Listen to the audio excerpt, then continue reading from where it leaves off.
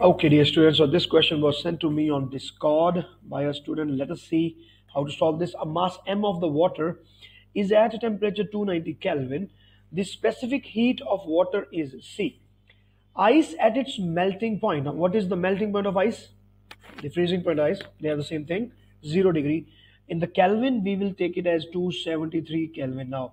So there is ice at 273 Kelvin and there is water at 290 Kelvin is added to the water to reduce the temperature of the water to the freezing point. It means uh, the liquid, the water, has to lose all of the heat and from 290 Kelvin, it has to reduce itself to 273 Kelvin. The specific latent heat of fusion is L. What is the minimum mass of the ice that is required? Okay, my dear students, so this question is typically from calorimetry where uh, the heat lost by one medium should be equal to the heat gained by another. So here, uh, water is at higher temperature, so heat is gained by the water and the heat lost is by ice. So we are now going to equate both of them. So Q is equal to, like for the liquid, if M is the mass of the water that is given here, C is the specific heat, the temperature change has to be from 290 it has to be brought lower to 273 that is 0 degree centigrade.